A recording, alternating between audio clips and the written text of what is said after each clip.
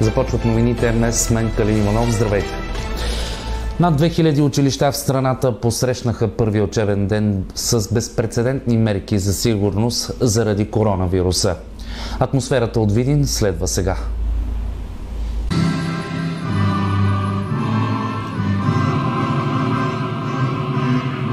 Светослав Иванов е едно от новите попълнения в колектива на професионалната гимназия професор доктор Асен Златаров в Видин.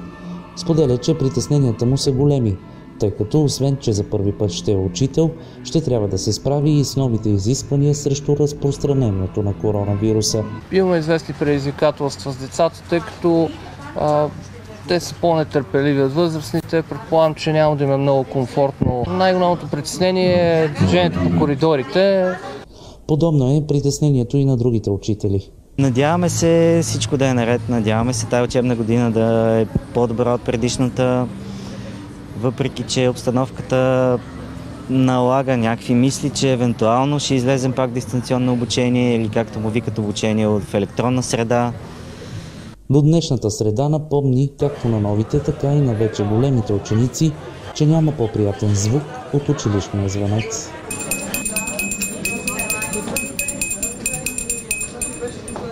На добър час, искайте и ще получавате все повече и повече. Не очаквам, че мерките ще внесат някакъв проблем. Важно е според мен да сме спокойни и отговорни. И децата много бързо се настройват на това какво означава да са отговорни и аз не очаквам да има някакво напрежение или проблем в тази връзка. На входната врата на всяко училище има пропусквателен пункт, както и изолатор, като този, в който ще се изолират деца съмнителни за COVID-19 докато дойдат родителите им. Ако това са мерките, които са взети от Министерството, аз не мога да ги променя. Изолатора е просто една стая, където трябва да детето да бъде изолирано, ако е заразено. Това, това предполагам, че са мерки, които се взимат в цяла Европа и в целия свят. На територията на община Видин нямаше училища, които днес не отвориха врати.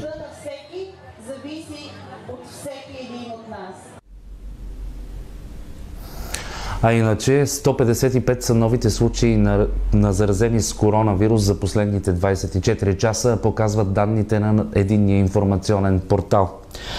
Общия брой на случаи с COVID-19 вече е 18 216, 4423 са активните от тях. Направените тестове за последното денонощие са 4312. Положителните случаи представляват 3,6 на 100. Към настоящият момент 734 души са хоспитализирани, от които 46 са в интензивно отделение. За денонощието излекуваните са 127, за съжаление има и трима починали. Общия брой на онези преборили коронавируса е 13 057, 736 пък са загубили тази битка.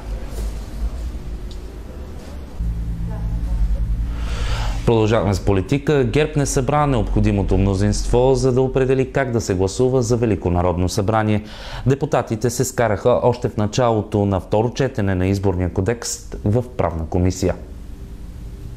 По отношение на машинното гласуване, те обаче твърдо настояват за отстъпление от постигнатото до сега.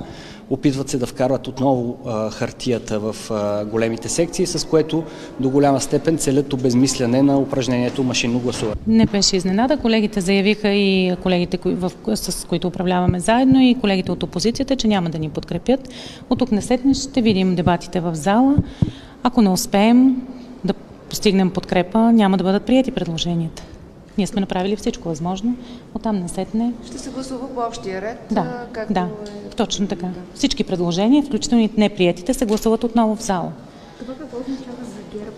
Усещате ли, примерно, че ви бламират вашите партньори в управлението? Не, не бих казала по отношение именно на тази глава. Това е изцяло наше предложение, знаете, на премиера.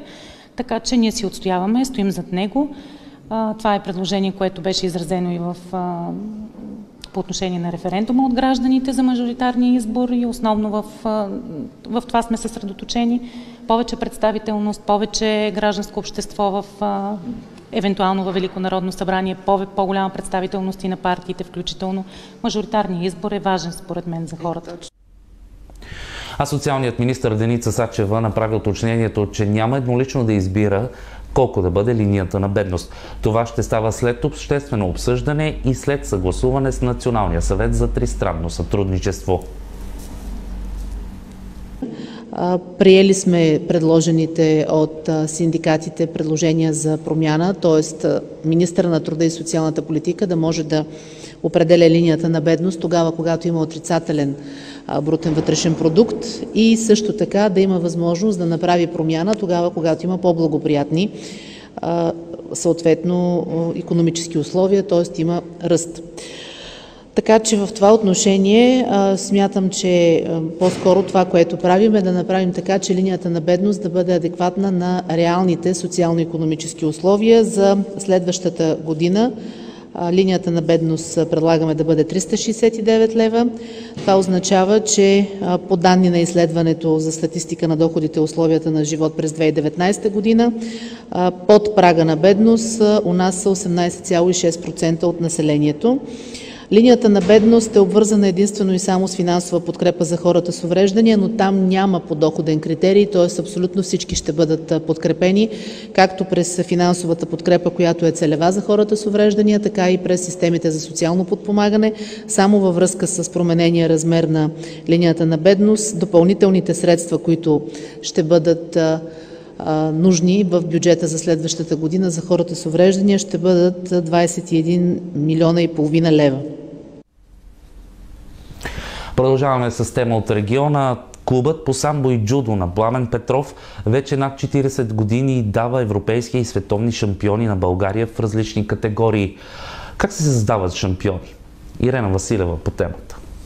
Винаги е имало интерес. Спортът е много интересен, много е привлекателен и за момичета, и за момчета.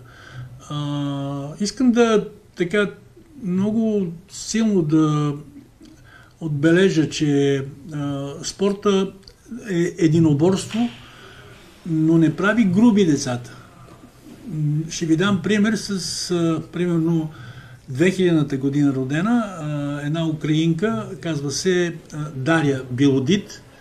Това е невероятно красиво дете, което е световен шампион, европейски шампион, по джудо на 20 години, сега е на 20 години, тя стана още на 16 години, стана световен шампион, която е рекламно лице, мисля, че беше на Тойота или беше нещо такова и е изключително популярно като, като, като физика. Висока, стройна, красива. Така че спорта, джудо, ако някой мисли, че децата ще станат по-груби, Изобщо не е така. Значи спорта може да направи перфектно тяло и перфектна визия.